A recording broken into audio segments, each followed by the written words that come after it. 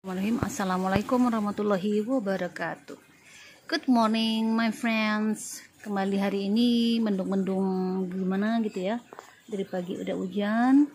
Jadi berkah juga buat kita yang kekurangan air. Tapi kayaknya ini merupakan suatu apa ya nggak bisa dibilang bencana juga ya karena memang hanya mendung tidak membuat banjir dan sebagainya guys yang pasti kita tetap harus selalu bermuhasabah diri mengucapkan istighfar minimal 100 kali dalam sehari ya sesuai dengan tuntunan Nabi kita Nabi Muhammad Sallallahu Alaihi Wasallam.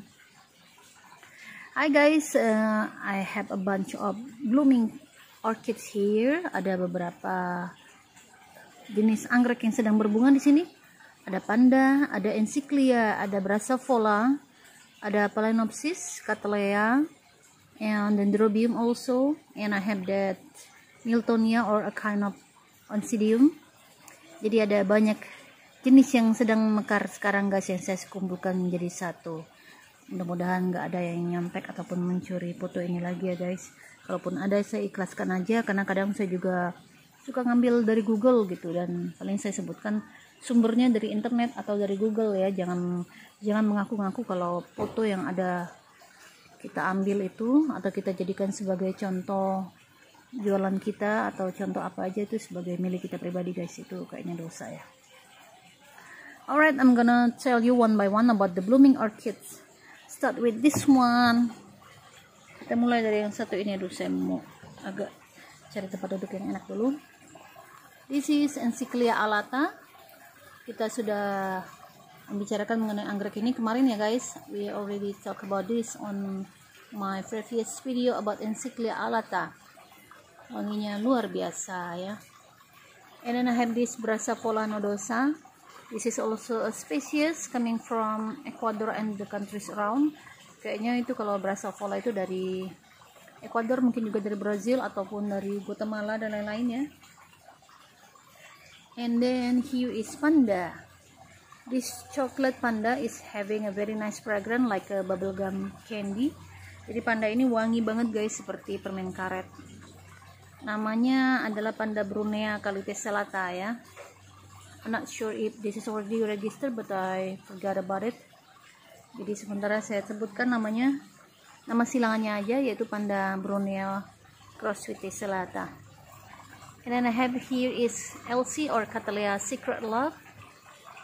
Then back there we have this Phalaenopsis tetraspis ya with forma imperatrix and this is Phalaenopsis equestris.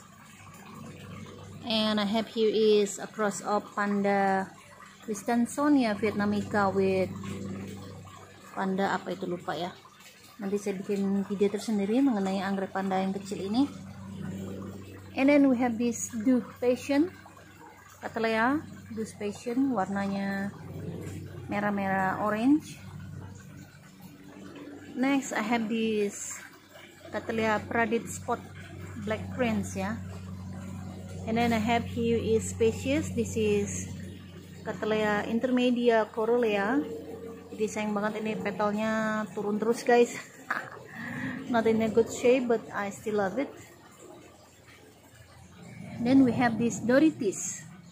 Ini kecil banget ya anggrek jenis Phalaenopsis atau uh, dia masih masuk ke genus Doritis. Doritis pulcherrima with variety of Aquinii.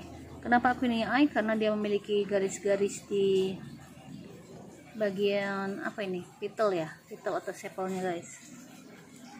And then I have this Miltonia. This is a kind of oncidium. And you can see that the plant is look like grass.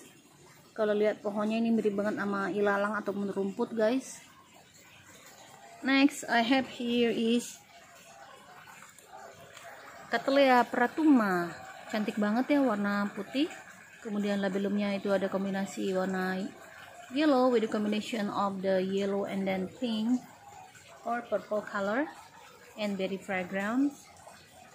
This is still the Phalaenopsis cornucervi with peloric green peloric color ya. Jadi kenapa dibilang peloric? Karena memang dia memiliki petal yang mirip sama labellumnya and then we have here is dendrobium. Saya lupa namanya apa ini. Apa Roy Tokunaga atau apa ya? I will make a video alone of this dendrobium later on. And I have here is Panda Marie. This is Panda from Philippines. And we have this Cattleya crown fox sweetheart across of Welkeriana with Memrobet Street yeah and last this is the Caulartron Bicon Utum cross with Laelia rubescens or Caulaelia ya. Oke okay, itu dia teman-teman. Tuh ada helikopter lagi. Saya pause bentar dulu. I pause it for a while. Helikopternya udah lewat itu dia. Pokoknya teman-temannya ini adalah beberapa anggrek dari jenis Cattleya, Panda, Phalaenopsis dan lain-lain yang sedang berbunga di Addis Orchid Nursery. I hope that it can bright up your days, these our gloomy days because we still have some floods everywhere or earthquake. Jadi kita semua harus kembali beristighfar ya, banyak-banyak istighfar. Mohon ampun kepada Allah atas segala dosa yang kita kerjakan, baik yang disengaja maupun yang tidak disengaja. Dan dengan demikian kita mohon kepada Allah agar tidak menurunkan kembali bencana alam baik itu gempa bumi, banjir dan lain-lain di tanah air kita ini guys. Semoga Allah berkenan untuk um, ampuni segala dosa-dosa kita ya. Amin, amin ya robbal alamin. That's it my friend. Hope you have a lovely day. Bye bye.